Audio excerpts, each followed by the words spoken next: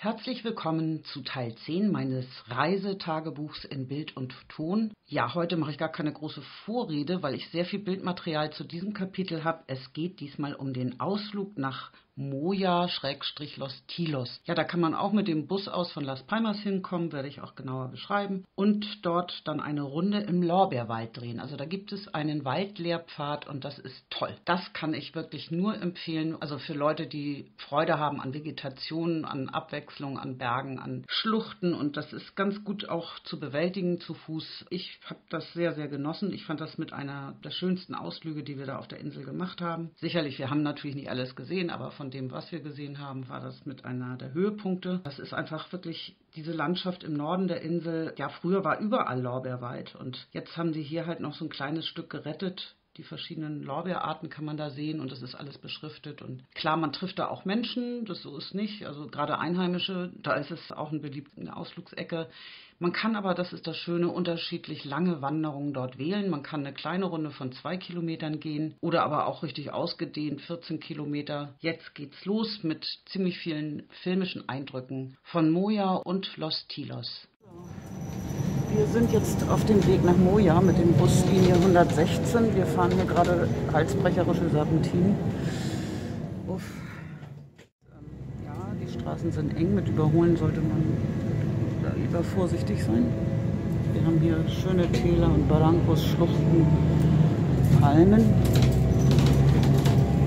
Und oben in Moja da soll eine Wanderung starten. Die lange Variante wären 14 Kilometer. Wir wollen aber nur die kürzere. Mal gucken, ob wir überhaupt zum Ausgangspunkt kommen in diesem Naturreservat. Äh, das müssen wir dann noch erkunden, wenn wir in Moja gelandet sind.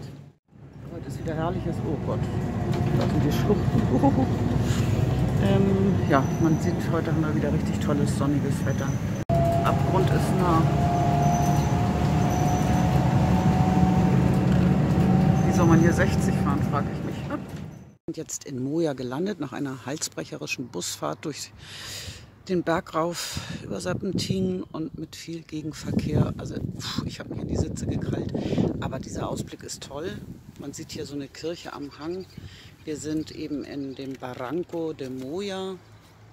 Das war die Linie 116 übrigens ab Las Palmas, ab dem Gesundheitszentrum ähm, in Santa Catalina. Hier geht es steil bergab in die Schlucht. Und da oben, ähm, wir gucken, ob wir da hinkommen, ist Los Tilos. Das ist ein Lorbeerwald. Dort kann man eben auch wandern. Das sind noch mal 190 Meter hoch, wie ich das hier diesem, diesem, dieser Schautafel entnehme. Das ist die Tiefe des Barranco, Oder das. Hier oben ist es auch frisch. Man sollte sich also eine Windjacke oder ein Pulli oder beides mitnehmen.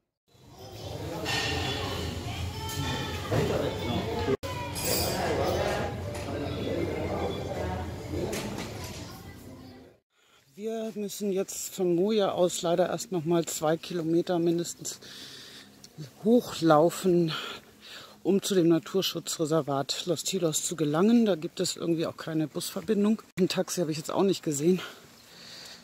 Und da gibt es hier auf dieser Straße leider auch keinen Fußweg. Das ist ein bisschen blöd. Und man hat uns darauf hingewiesen, dass wir uns bitte nicht auf der anderen Straßenseite bewegen sollen, weil da auch Geröll von dem Berg runterfallen könnte. Deswegen drücken wir uns jetzt hier an der Leitplanke entlang. So, jetzt sind wir von der Hauptstraße nach links abgebogen Richtung Tilos de Moya. Hier gibt es den Sendero del Bosque, also ein Waldwanderpfad. Und hier ist nochmal eine Karte. Den Weg hätte man auch schön gehen können, ganz unbehelligt von Straße. Das wäre natürlich genau das gewesen. naja, genau, das ist vielleicht dann der Rückweg. Das ist die Straße für die Autos. Und hier haben wir nochmal eine Warnung. Attention, was steht da? Genau, wenn es regnet, soll man da nicht gehen wegen Steinschlaggefahr. Da sieht man nochmal so eine Übersichtskarte. Das Restaurant, das wir eigentlich ansteuern wollten, hat geschlossen wegen der neuen Covid-Regeln, die nochmal seit Weihnachten hier auch auf Gran Canaria zu Recht verschärft wurden, weil hier die Inzidenzen bei über 1000 pro sieben Tage liegen. und ja, dann lohnt sich das vielleicht auch für die Gastwirte nicht. Wir schauen uns jetzt mal den Lorbeerwald ein. Das ist das Häuschen von Los Tilos. Nochmal so ein, so ein Informationshaus. Oh, jetzt drehe ich auch hier. Ein ganz niedlicher Schornstein, sieht fast chinesisch aus. Genau, da gibt es auch überall kleine Erklärtafeln an den Pflanzen. Es gibt natürlich auch Touristen und hier Aseos, die aber geschlossen sind. Jetzt stehen wir am Eingang dieses Rundwegs, der 1,8, 1,9 Kilometer lang rund führen soll durch den Lorbeerwald. Und äh, auch hier warnt man vor Steinschlag und es hatte geregnet und mh, mm, aber wir wollen zuversichtlich sein. Jetzt wollen wir uns dann diesen Lehrpfad anschauen. Und diese Bäume sollen auch alle beschriftet sein, hat uns der Reiseführer verraten, auf Spanisch und auf Latein. Ja, schon taucht man ein in eine sehr mystische Welt. Überall so kleine Felsen. Um uns herum sind Lorbeerbäume. Das stimmt. Hier kann man schon mal Picknick machen, wenn man möchte. Der Weg ist ein bisschen glitschig. Ja.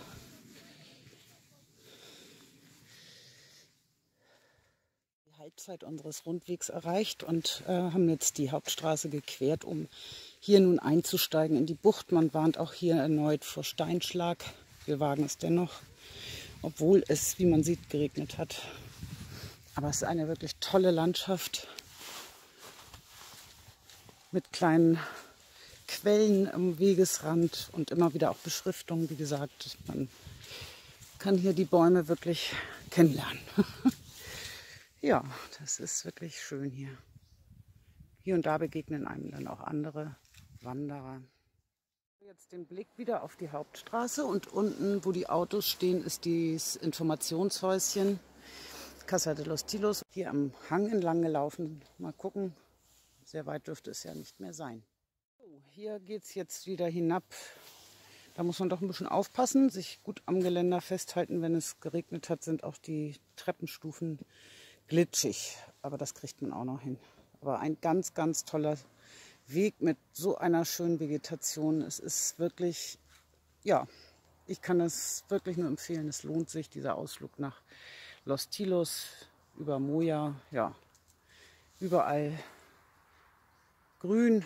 Es ist eine Augenweide. Es ist jetzt toll hier.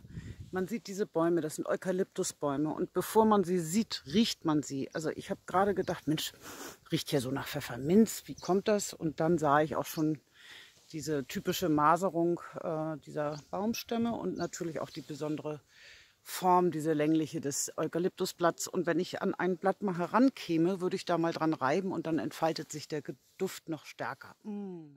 Kurz zur Info, da unten sieht man die Hauptstraße, die wir auf dem Hinweg gekommen sind, um hier den Einstieg in den Lorbeerwald zu finden.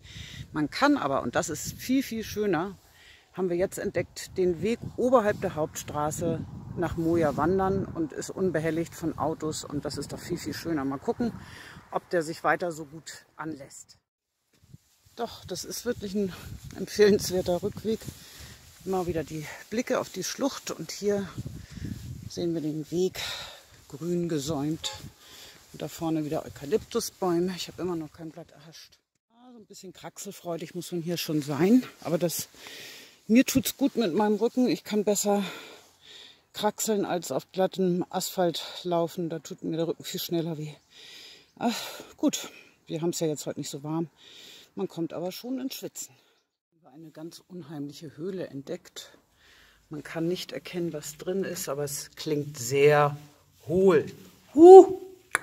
Ich weiß nicht, ob das ein Wasserspeicher vielleicht ist oder ob da mal jemand gewohnt hat. Erschöpft sind wir ja doch. Man kraxelt hoch, man kraxelt Serpentin.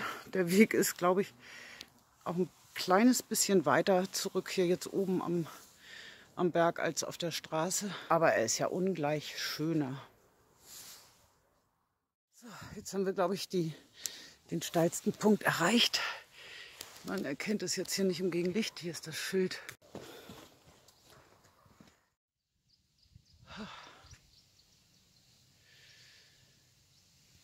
So, weiter geht's. wir haben hier ein Mandarinenbüschlein, Bäumlein gefunden. Ich glaube, es sind Mandarinen, noch klein. Ich dachte erst, sind es Amarillen, aber nein, nein. Vielleicht sind es auch nur so Zierorangen oder Ziermandarinen. Das kann natürlich auch sein, weil jetzt sehen wir hier schon Behausungen. Ich glaube, es gehört zu einem Garten. Hier nochmal ganz eindeutig. Ach, schon wieder im Gegenlicht. Aber ich kann versichern, es steht Moja drauf. Wir haben offenbar gleich unser Ziel erreicht.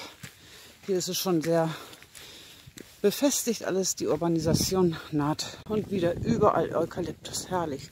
Es duftet, wenn man das doch mit aufnehmen könnte. Da unten liegt das Dorf. Das ist Moja, stimmt, da müssen wir noch ein Stückchen rumlaufen. Ja, und da hinten sind nochmal andere Kartoffeln unterwegs beim Wandern. Das bleibt nicht aus, man ist ja nie ganz allein, aber ach, ist das toll diese Blicke auf diese Barrancos, das ist ja, ich glaube, ich habe Worte für toll etwas überstrapaziert, aber es ist einfach so. Ein paar abschließende Bilder hier, weil es so ein tolles Licht ist, gerade was auf das Dorf Moja fällt. Ja, wir sind ganz schön viel rauf und runter gelaufen. Das waren bestimmt am Ende des Tages so sieben, acht, also bestimmt acht Kilometer alles in allem. Also von Moja bis hin zu, zum Lorbeerwald, zum Einstieg und dort der Rundweg waren ja 1,8, 1,9 Kilometer und dann den weiteren Höhenweg wieder von Tilos zurück nach Moja. Und jetzt ist die spannende Frage, wann am Sonnabend, den wir jetzt haben, wann da Busse überhaupt fahren. Die sind nämlich jetzt am Wochenende auch eher. Okay, der Bus geht nach Galdar. Ja, hier ist der richtige. Okay, heute haben wir Sonnabend, dann geht er immer auf 40. Sábados y Festivos um 14.40 Uhr, 16.40 Uhr. Y ahora tenemos ahora.